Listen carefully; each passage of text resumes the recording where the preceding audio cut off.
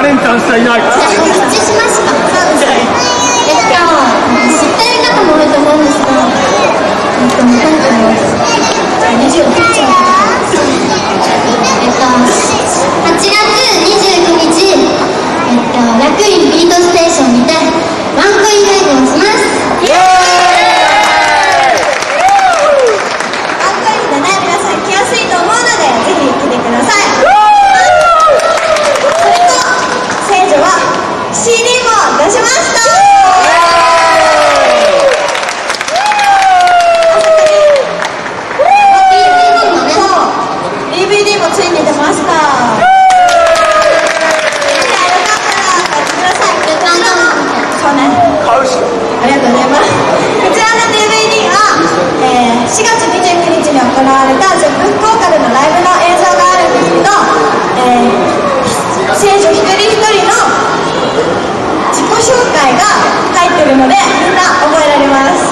なので覚えてください。